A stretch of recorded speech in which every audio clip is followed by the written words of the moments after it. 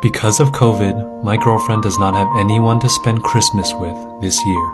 She is originally from Taiwan and moved here to the US all by herself three years ago for work.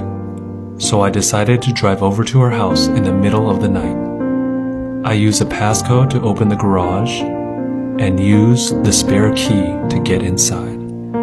I sneaked over to the dining room and I took her dining room chairs for my family's Christmas party.